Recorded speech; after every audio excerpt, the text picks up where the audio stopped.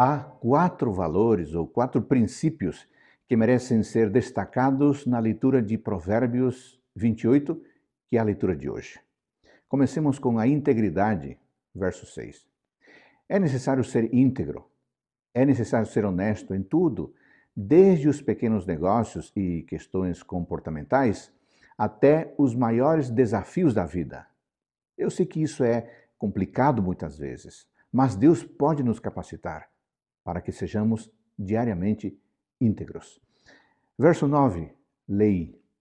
Quem não obedece às orientações e às leis de Deus, certamente não se dará bem na vida, pois a desobediência faz com que se interrompa o canal de comunicação que há com o nosso Pai Celestial.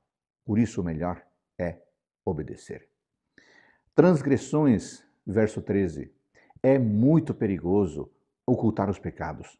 Por outro lado, quando admitimos e confessamos a culpa, somos abençoados com o perdão e somos abençoados com a oportunidade de recomeçar. Falemos também de doar, verso 27. A generosidade nos torna ricos.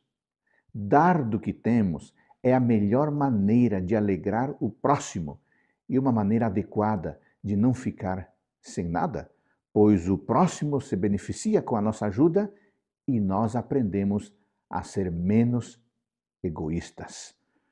Amigo, amiga, o respeito pelas leis de Deus nos ajuda a desenvolver um caráter íntegro, bondoso e também sensível às necessidades das pessoas que estão ao nosso redor.